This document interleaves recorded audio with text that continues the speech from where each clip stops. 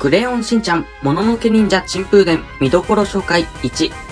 作中で突如現れる謎のイケメン。実はこのイケメン、超人気俳優さんがサプライズで声を当てていました。